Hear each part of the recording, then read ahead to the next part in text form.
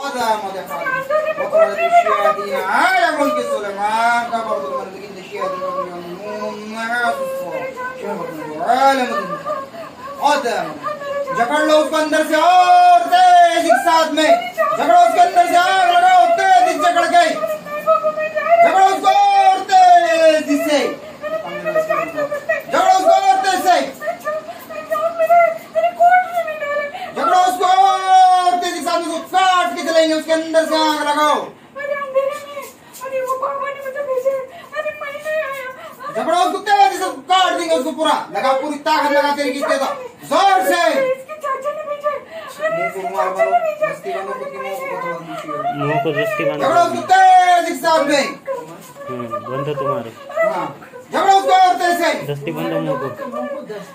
क्या कर रहा था? मार दे रहा था उसको। हाँ? मुझे जान लेना था ये औरत की बस। हाँ और किस किस के लेने का था? इन दोनों का बच्चे का अच्छा नहीं करना। हाँ। शादी नहीं होना। हाँ। औलाद नहीं होना। हाँ। इनके घर में पैसा नहीं रहना। हाँ। इनकी ज़्यादा ज़मीन। हाँ। बस मुझे चाहिए। और वो बच्ची के वो बच्चों के रिश्ते जुड़ने के बाद कौन तोड़ा। दो दो रिश्ते। मैंने हाँ? मुझे लगाया। हाँ। क्यों तोड़ रहा? वजह। उसके चाचा बार बार लगाता है। हाँ। उसका चाचा बार बार आता है। हाँ। मुझे परेशान करते हैं। हाँ। मुझे लगाता है। बचा को उनको जाकर बर्बाद करो। क्या दुश्मनी थी वो? मुझे जगह चाहिए था। वो जगह ये औरत ने सम्मान कर दिया। हाँ। उसके ससुर की जगह थी। हाँ। लेकिन ये औरत बहुत वो बच्चे दाल पीट की थी। हाँ। लेकिन उसने कैसा सब कुछ लिया हाँ। जगह की मुझे जलन हो गई हाँ। इतने अच्छा सब कुछ किया ये औरत चाहत रही थी दो बच्चा कैसा संभाली ये औरत चाहत रही थी क्या क्या की अरे हम इतना कमाया हमने कुछ नहीं किया अरे ये औरत को ऊपर नहीं आने देगा हाँ। ये बच्चा का अच्छा नहीं करना इन लोग को सब मार अच्छा वो बच्चे का रिश्ता तुड़ाने का वास्ते क्या लेकर गए थे? क्या क्या जादू करे? हमको सबको मिलेगा। अरे हमको बताए अरे कितना कितना कितना औरत ने ये देखा अरे पच्चीस बीस तो पच्चीस बार इसने का बंदोबस्त किया हम्म। अरे कौन से कौन से दरबार में गया हम्म। अरे इसके ऊपर श्यामपुर बाबा का पेड़ ही था हम्म। इसको ज़्यादा हमने काबिज नहीं किया हमको ये औरत को कभी ड्राम कर देते था नसीरा बी को कब मारने वाले थे अमास में पूनम में अरे हम नमाज़ पढ़ती थी औरत हाँ। बार बार तस्वीर पढ़ती थी हम्म। हमको आना नहीं देती थी हमको पास आना नहीं देती थी अरे हम क्या करें अरे वो आदमी परेशान करता है अरे तुम इधर परेशान करते अरे काय को परेशान करते हमको हाँ। यहाँ हो गया बच्चे को अच्छा नहीं करना एक इनकी लड़की है इनकी हाँ। बहन है हाँ। अभी उनको भी वो शादी की गाई उसका भी नहीं हम बना कर देंगे ये तीनों बच्चे को ऐसा ही रखेंगे ये औरत रो रो के हैरान होती है हमको खुशी होती है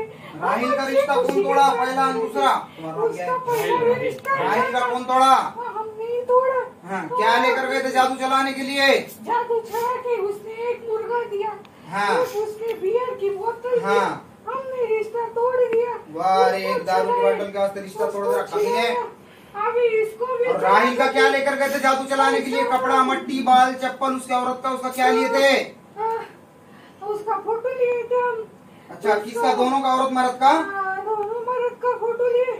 उसकी शादी दोबारा की मुंबई जाके शादी किया। अरे किसी को पता नहीं चला। वो तो हम बदली में तोड़ देते थे। मुजफ्फर का क्या लेकर गए थे जादू चलाने के लिए?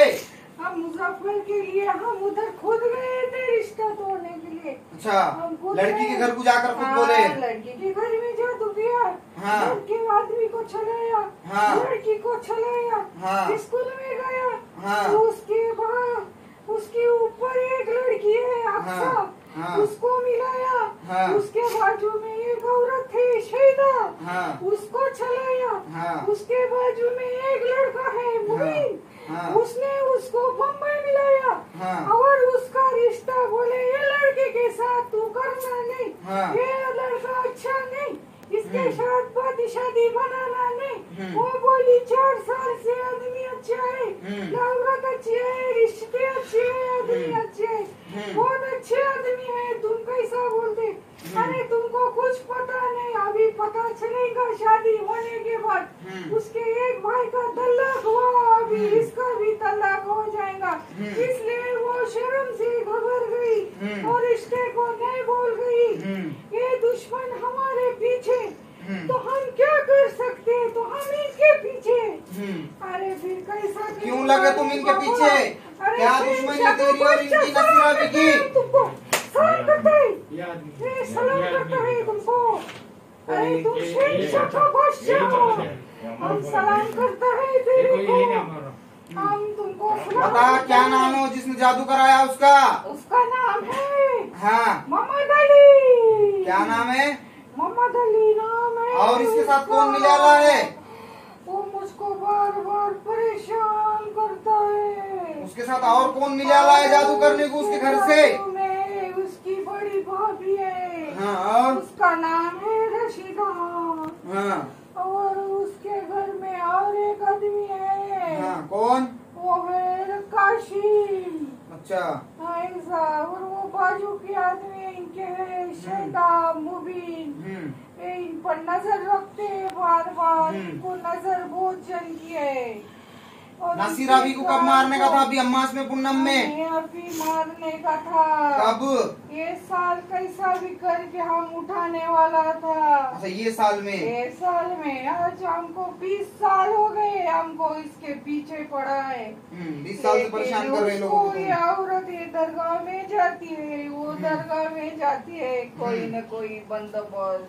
हम्म, और नमाज़ बार बार तस्वीर हम्म। ताजियत की नमाज़। अरे हमारा तो सिर घूम हो गया हम्म, ये आदमी के लिए हम कुछ काम कर सकते नहीं तो पूरा काम खराब करके डालती अभी के अभी उसका जान जाए चलाओ उसके अंदर अभी तेज पूछ से रहे आग मेरे लगाओ को।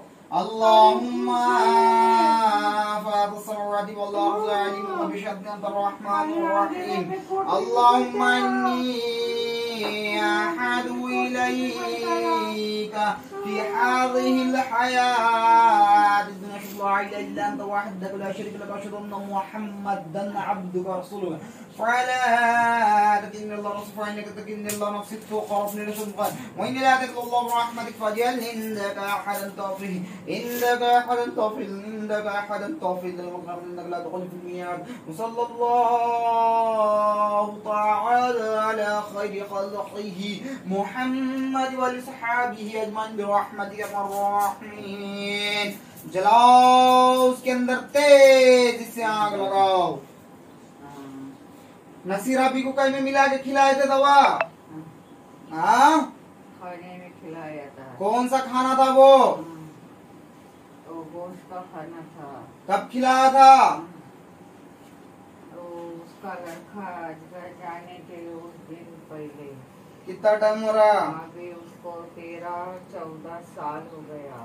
अच्छा। अभी तो पहले तो हमने किया था। हाँ, लेकिन थोड़ा कम कम किया था। हम्म। ज़्यादा डोज नहीं दिया था। हम्म, ये लड़का ऐसा गया जब से बोला अभी हम्म। शोर की नौकरी में इतना करा। ये लड़का जाने के बाद ज़्यादा करेगा। तो जब भी इसको डोज देकर हम सो के रखे था आज चौदह साल ये औरत सोए लिए कभी कुछ देखती नहीं घर में कुछ करती नहीं कुछ नहीं। हम्म, खाली जरा उठती बरस सोती उठती डबल सोती ऐसा काम चलेगा हम्म। इसका। बच्चे को भी देखती नहीं किसी के घर में जाती नहीं रिश्तेदारी में नहीं जाती। कोई मरा तो बस मैयत पे जाती और आती बस। बाकी उसको कुछ पता नहीं। पता नहीं कुछ पता नहीं। चलो उसको ये सब चीज़ें जकड़ के अभी उनका पैसा कुछ नहीं उनके पास। सारा बर्बाद कर दिए। अभी कुछ नहीं सबकी नौकरी वक्त तो बर्बाद कर कर के खुश हो रहे तुम लोग नौकरी खराब किए सबका पैसा गया। मुजफ्फर को क्या करे उसका काम बनना नहीं क्या? हाँ ऐसा घूमना ऐसा घूमना खाली खा कर सोकर रहना आराम से रहना उसको। हम्म। ऐसा सुला कर रखे हमने। हम्म, खाली टीवी देखना मोबाइल देखना किसी का सुनना नहीं। हम्म, माँ बाप का सुनना नहीं हम्म। खाली अपना अपन खाली रहना ऐसा हम्म। आराम से रहना। हम्म, ऐसा करे। और भाई जादू करे। जादू के इधर हिना नहीं दोबारा आना नहीं। और वहाँ पे ज़मीन पे गाड़ के रखे कि ये घर में दहलीज के अंदर आना नहीं। ठीक है चलो ये नाला सब कुछ जकड़ के रखो इसको मार मार के सारी तंत्र मंत्र गिरे खत्म कराओ। उतारे के अंदर और जकड़ के सब चीज़ों को मारो नाला को और लास्ट में बंदिशों में लेकिन सबको जकड़ के खत्म कर दो।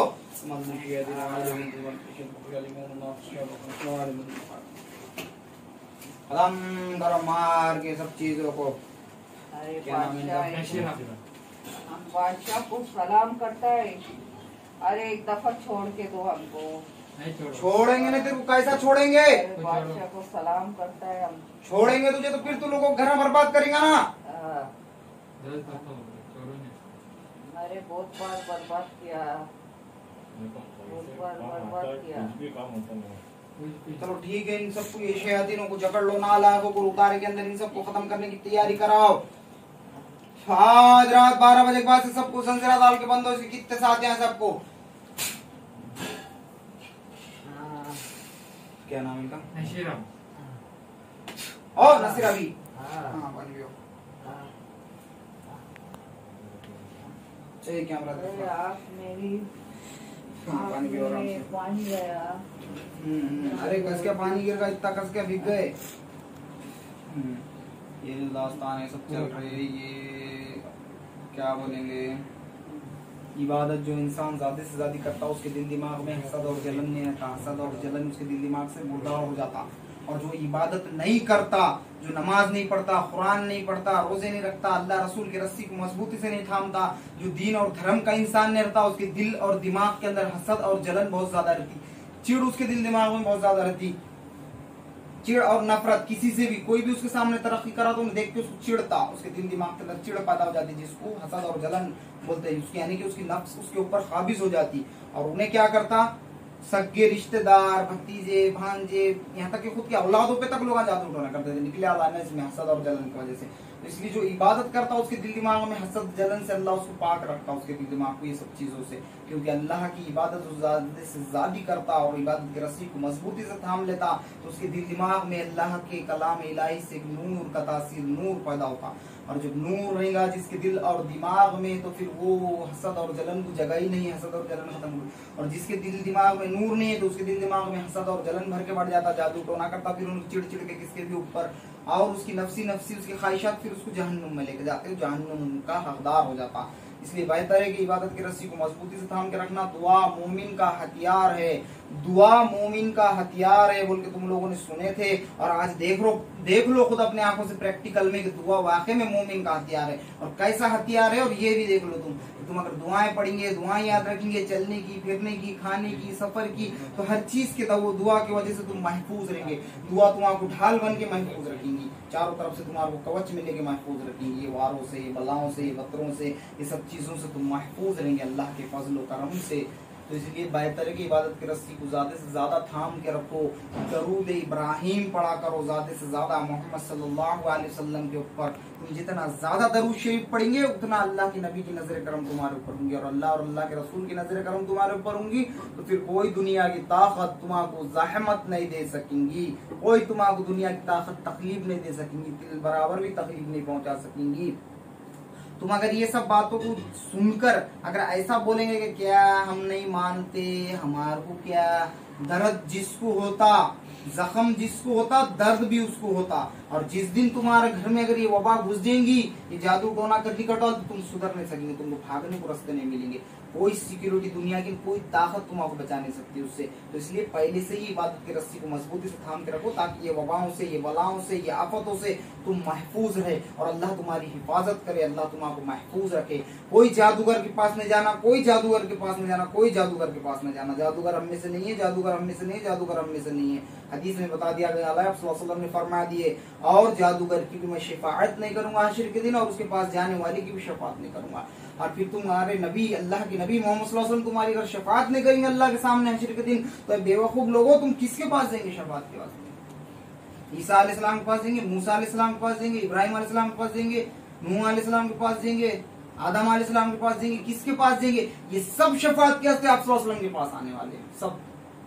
सारे नबिया, फिर इस वास्ते तो बोले ना कि नबियों के नबी है मोहम्मद ताजदार अम्बिया पूरे अम्बिया के सर का ताज है जब आप शफात करेंगे तो फिर पैगम्बरों की भी शफात होने वाली तो फिर तुम कहाँ जाएँगे? कम वक्त हो समझो जरा और सुधरो, क्योंकि आखिरत का वक्त तो आने वाला है, वो लामहदूद ज़िंदगी और बेशक दुनिया फना होने वाली और फिर डबल से ज़िंदा होने वाली और हशर का मैदान लगने वाला है। और हशर के मैदान में सब हिसाब किताब लिया जाएगा दुआ और बदुआ, तुम्हारे लिए दो हथियार दिया ले। जादू टोना करना और जादूगर का रास्ता नहीं बता वाला तुम्हारा कोई शैतान ने लेकर तुम्हारा रास्ता बताने को। क्यों शैतान की पूजा करने जा रहे तुम?